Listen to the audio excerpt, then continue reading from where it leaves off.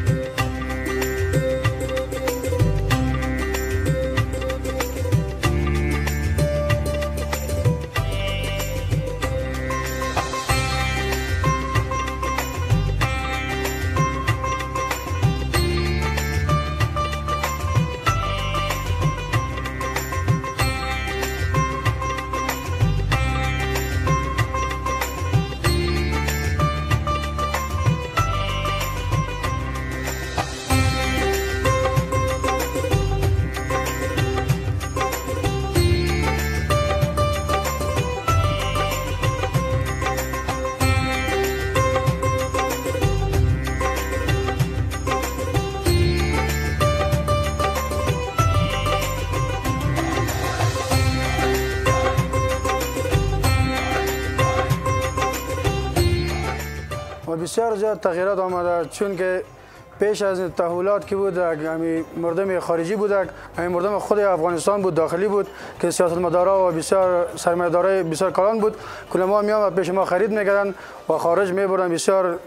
چی ما خوب بود مگر این بسیار ضعیف شده حالا قدر سودا نیست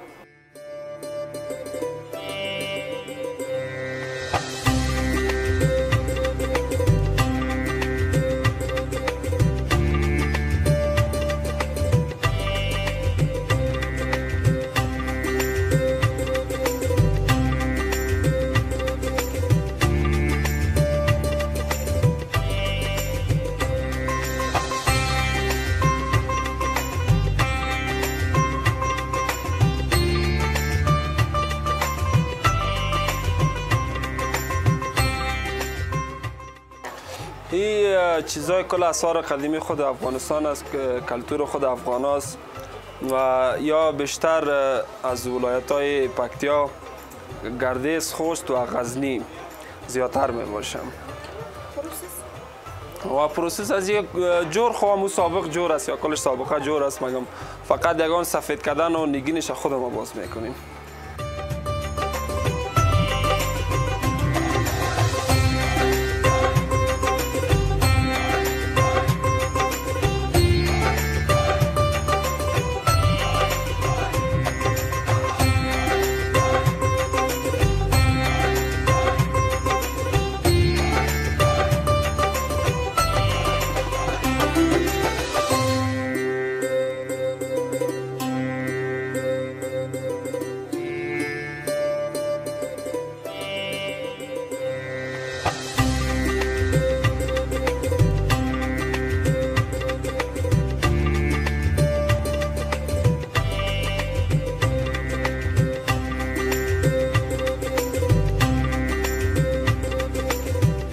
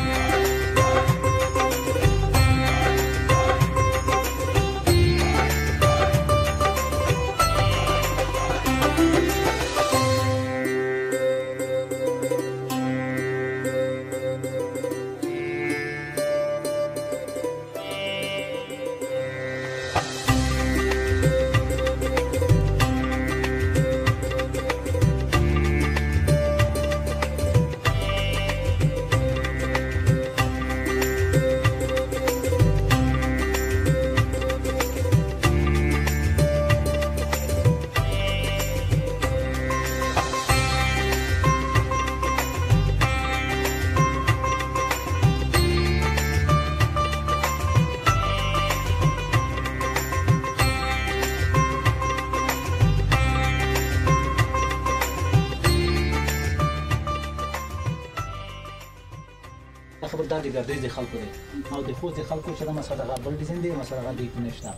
نو همدغه چې دا مسله دا ټول کمیسونه چې دي دغه د ګردیز او د خوست د خلکو دی خو شوي دي دا لاسي کارونه دي او مثال خبره داسې نه ده چې مثال خبره هغه په ماشين جوړ شوی یا په بل شي نه دا ټول د لاس کار دی لاسي کارونه مسدا خلک جوړي هغه چې بیا د ورګون دي خلکو دی هغه زیړ کمیس پاس او او هغه پاس چې ځان دی هغه د ورګون دي خلکو دی او دا چې دا مسدا اکثره چې دا مسدا دی کې دا دا ډیزاینونه چې دي دا د لوګر د خلکو دی دا د لوګر خلک مسدا او دا الحمدلله دا مسدا د خلکو دا کمیسونه دي جامه ده چې ټول په خپله مسه دا هغه استعمالوي داسې نه چې مثلا په محفلو کې کوي نه نه عمومي جامه چې د خلکو دغه دی دا مسه د اکثر زیات د لوګر د خلکو دا استعمالوي او دغه یخنونه چې دي دا بیا د ګردیز د خلکو دی او دغه کې مثال خبر دا چې د مسه د خوست خلکو دا یخنونه چې د خوست خلکو په لاس جوړي دا د خوست خلکو دی مسه دا د زرمت د خلکو دی دغه چې د مسه د غزنی د خلکو دا د غزنی کار دی دا غزنی والا چې د مسه دا کسونه دا غړ سيزونه چې د پلاس جوړي دا مسا د واده لپاره مسا د عادي خوست او د ګردیز د خلکو ته مسا دغه کار دی لاسي کار دا 15 کاله کېږي الحمدلله چې مسا زه مسا د دکانداري کوم نو دغه جامه چې دا دغه ریواج دا اولین ځل په دې مارکیټ کې ما شروع کړی دی نو دغه کاروبار له اوسه پورې الحمدلله زموږ روان دی او لغمه روزي چې دا الله پاک پاک ستره مونږ ته راکوي او په دغه کې مونږ صد بند ګټو مونږ دغه زړزه مې او زوی مې د عصمت الله دی مونږ صد زیاتره اوس چې دا مخکې زه خپله وم اوس الحمدلله هغه زوی کې مې دی چې مونږ صد هغه ما سره مونږ صد په دکان کې همکاري کوي او هغه ما سره مسد کار کې دا دکان کې دکانداري کوي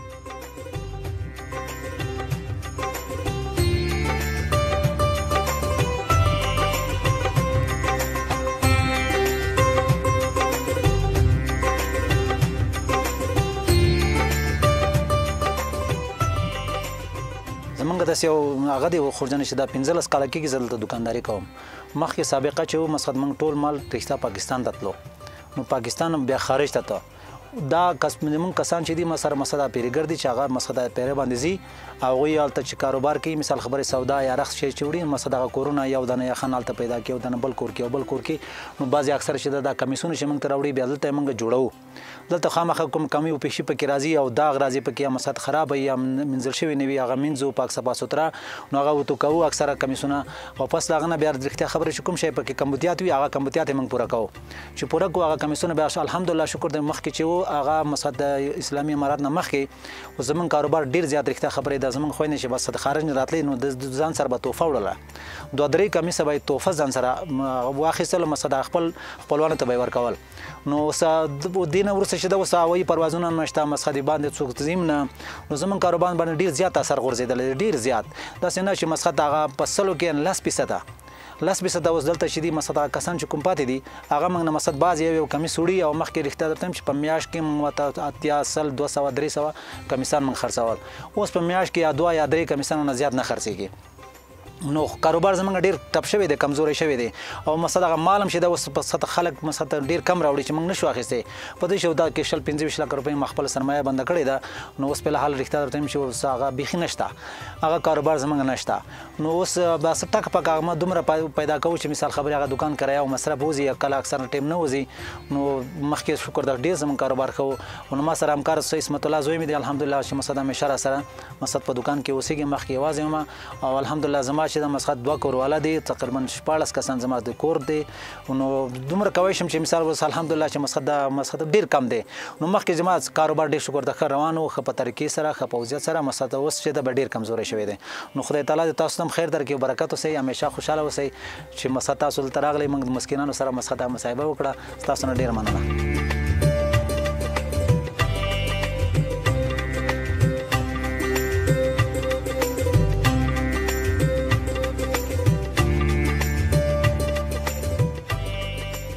بسم الله الرحمن الرحیم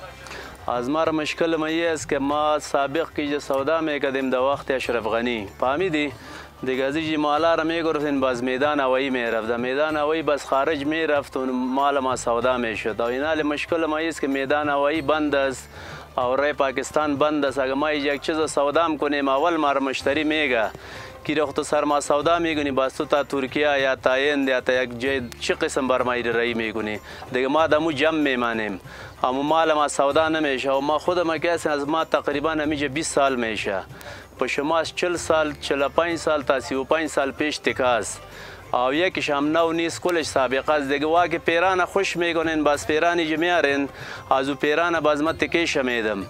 بس دامه نشام دمی جز مثلا یخا نشام هر چیز به اور بزیک خیات می دیم بازور جور می کنیم از مار مشکل ما کلش د میدان اویس و دیگه مشکل ما د وټل است اگر د وټل می پلا شروع نشه از مار کار ما نمیشه ما تقریبا ده سال پیش د پاکستان د اندر شیر یک دو ست سی ست دکاندار جم شدیم بس ما مندیم د ولایت کابل ویج ما ریزه کدیم